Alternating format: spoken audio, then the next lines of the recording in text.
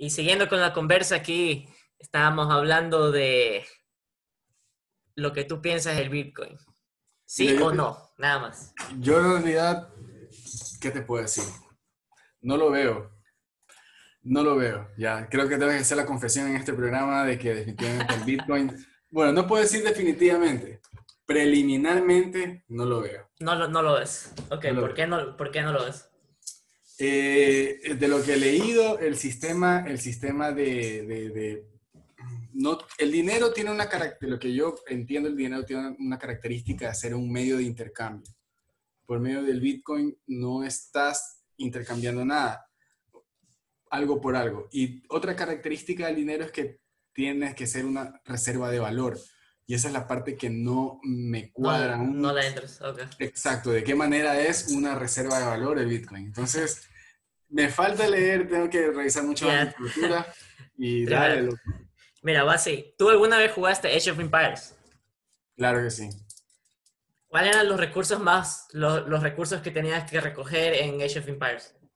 Bueno, este, que la, el oro, la piedra, la madera, esas cosas, ¿no? Y, y los mejores, los mejores, los mejores soldados, digamos, los caballitos y toda esa vaina, ¿los pagabas con qué? Con oro. ¿sí?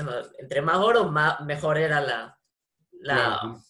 El, el- el refuerzo que podías comprar. Entonces, mira que desde, desde tiempos antiguos, desde la Edad Media, la gente dice que el oro es una reserva de valor. ¿Por qué? Solo por, porque sí. ¿No, verdad? Sí, igualito, igualito. La gente dice ahora que el Bitcoin es una reserva de valor.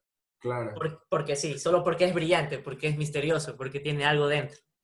Y eso lo hace atractivo en la psique humana, en la psique humana, desde el oro. Entonces, ese, ese es el, el- el- el verdadero valor del Bitcoin. Pero realmente, para mí, yo como lo veo, va a seguir subiendo, pero como moneda, no vale. Prefiero Ethereum y... ¿Dónde está, dónde está Ripple? Ripple número 5, Ripple. Esas, esas son mis caballitos de, de- de Troya, que yo pienso que ellos se van a, convertir en, en moneda que va a ser de, de libre acceso. Como que pague, vas y te pegas tu shawarma y, y lo pagas con un Ethereum así, tripea. Pero no ahora. Esto aquí, esto aquí tiene potencial para los, los, los, los siguientes 20, 20, 50 años, creo yo. ¿Tú crees que esto de aquí más o menos tardará ese tiempo en desarrollarse? Loco, Sí. sobre, el, sobre, el tema, sobre, el tema, sobre el tema del valor, la verdad que igual hay que hacer como que un, una precisión. A ver, yo no tengo una conclusión definitiva dentro de lo que pienso. Y sobre el oro, claro que se dicen muchas cosas, pero si se analiza como que las propiedades químicas, físicas del oro son prácticamente, no digo únicas, pero sí son muy convenientes a los fines de, de intercambiar cosas, que es lo que la gente ha venido haciendo desde hace mucho tiempo. Punto y aparte, o sea, casi que otro, otro tema. Claro, Eh, bueno, eso sí. Si hoy en día decimos que el Bitcoin es igual una reserva de valor, un depósito de valor, y al menos desde las ideas que yo he leído y las cuales principalmente adhiero, el valor es subjetivo, o sea, el valor está dado por la, valoración que haga cada persona sobre cierta cosa.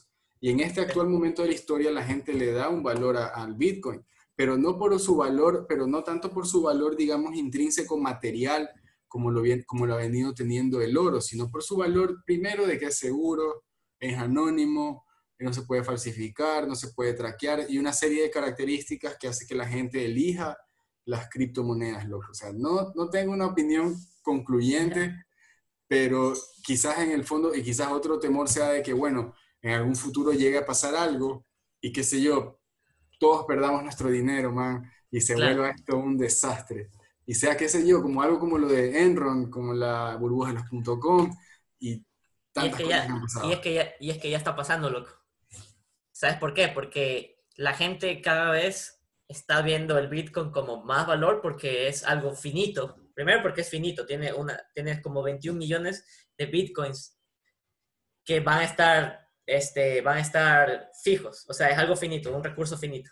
Claro. Y luego la gente está pensando que el dólar estadounidense o la moneda que, que la gente está imprimiendo, los gobiernos están imprimiendo, es algo de mentira. Imagínate este dato, tripea, que el 25%, imagínate, tú sabes que es el M2 o el M1, creo que era, el circulante, el billete que hay. La masa monetaria, claro. La masa monetaria. El gobierno de Estados Unidos imprimió el 25% de toda la masa monetaria de dólares. No estoy seguro si es en dólares o la masa mundial, porque imagínate que por la pandemia todo el mundo comenzó a imprimir billetes, ¿no verdad? El 25% del billete que se, que se ha impreso hasta la historia se le imprimió recién el último año. Y déjame ver si es cierto, déjame buscar en Google. Ah, ok, déjame ver, ¿qué estamos viendo? Ese es el reloj de la deuda pública de los Estados Unidos. Uf, a ver, déjame, a ver, hay demasiados números. ¿Qué estoy viendo? A ver, enséñame, ¿qué tengo que ver aquí? Eso aquí. Para mí una cifra muy importante, si te vas a la parte de arriba, en la que dice deuda por ciudadano, debt per citizen, a la izquierda, a la derecha, eh, en el cuadro de la izquierda. ¿Izquierda? Un poquito más a la derecha. Oh, debt per citizen, 84 mil dólares. Así es, cada ciudadano de los Estados Unidos debe 84 mil dólares. Uf. ¿Y cuándo van a pagar eso? Si eso es casi una casa, loco. Bueno, una casa en Ecuador, digamos. ¿Y cuándo van a pagar? Sí. o sea, tú dices que cada americano que llega, nace, ya nace con una deuda de 84 mil dólares. Así es. Ahora... Y la deuda nacional sigue subiendo, si te das cuenta en el contador es en tiempo real. Y va contrastando con el déficit, eh, va contrastando con el déficit en función de lo, de lo, de la, del revenio de los impuestos. Entonces tienes ahí un ratio, abajo dice a la izquierda, dice US Federal Debt to GDP Ratio. Eh, ¿Tienes cuánto? 146. Exactamente. Sobreendeudado, loco. Totalmente. Están un punto, 1.5 encima del PIB fuck. Ahora, ahora la playa que está viendo sí, sí, da miedo, porque es como que, ¿qué está pasando en este momento? Se están inventándose dinero y están poniendo deuda de dinero, que dinero que se lo inventaron así nomás. ¿Tú crees que ese sistema va a funcionar o va... ¿Cuándo se termina esto? Va a colapsar. Esto, esto va a colapsar en algún punto, no sé en qué momento, no sé cuál es el siguiente. Ah, uno de los indicadores dicen que es que las crisis económicas se están volviendo mucho más recurrentes. Si revisas la historia, tienes la del 29, de ahí tienes otra, qué sé yo, en los 70 tal vez. Más bien tienes luego de la Segunda Guerra Mundial todo un periodo como que de, prosperidad, al menos en, Occidente. Y ahí tienes ya la crisis de los, de, de los del petróleo del 70. Luego tienes por ahí ciertas cuestiones en los 80, algo por ahí en los 90, y a partir de los 2000 empieza ya una serie de crisis que se han vuelto recurrentes. Loco. ¿Cada cuánto? ¿Cada siete años? Siquiera. Tienes la .com, tienes la de las inmobiliarias, tienes la crisis europea. 2008. 2008, sí. ¿Y ahora esta última crisis?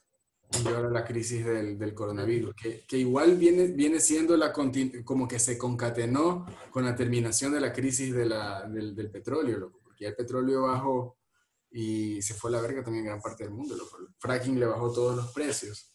El primer, mundo, el primer mundo empezó a ganar full plata, pero al menos los países subdesarrollados se fueron a la verga y, su, y, sus gobiernos socialistas también, loco.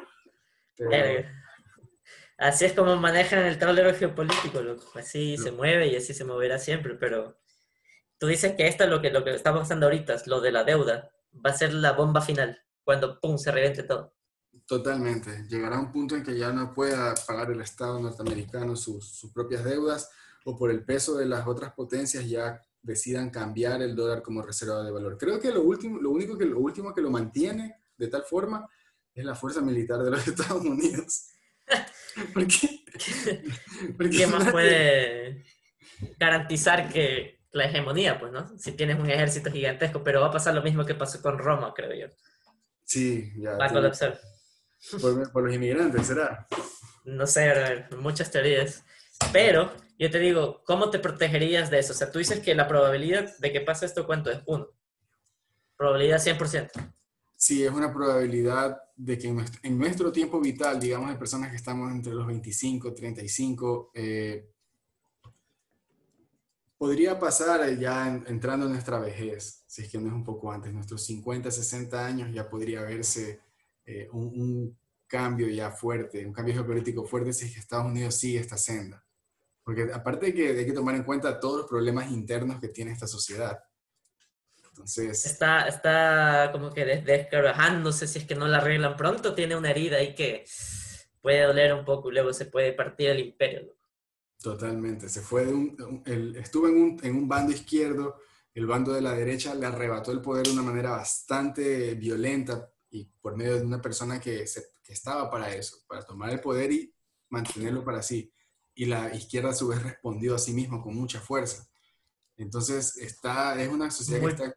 Muy polarizada. Está polarizada, que coges una lata de cola y la tengas ahí. Están, así. la plena. Oye, pero volviendo al tema eh, de, de, la, de, la, deuda y todo eso que se va a reventar. Sí, yo, yo, yo te digo, Si yo te digo que puedes tener otra reserva de valor que no sea el dólar americano, criptomonedas. ¿Comprarías? Sí, lo haría, lo haría. Eh, eh, en el contexto, en el contexto actual, y la gente, y, en parte tiene que ver con la revolución del cuarto Internet, que era el cuarto punto cero, que ya lo estamos superando, ya vamos a pasar al 5. Eh, todo eso creo que ha democratizado las finanzas, lo que yo me atrevería a pensar eso. La gente por medio del Internet controla su dinero y las acciones, que el influjo de conocimiento que estamos teniendo nosotros y las siguientes generaciones está levantando todo este velo del dinero estatal, está haciendo que aumente la desconfianza en el dinero estatal y a su vez hace lo que tú dices, la gente está buscando otras reservas de valor. Y como valor es todo aquello que le dé seguridad a la gente, estas monedas les dan seguridad. Y yo creo que en ese sentido sí, es una, es una, buena, es una buena inversión también. Lo que ya hablamos un montón ya de criptomonedas, vamos a la última. Dale, man.